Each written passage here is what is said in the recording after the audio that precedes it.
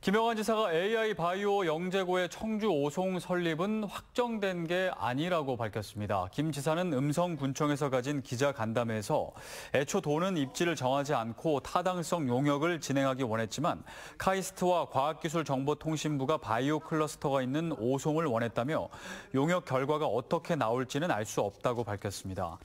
지난달 충청북도는 보도 자료를 통해 오송이 입지로 결정됐다고 발표하자 진천 음성 지역사회가 크게 반발해 왔습니다.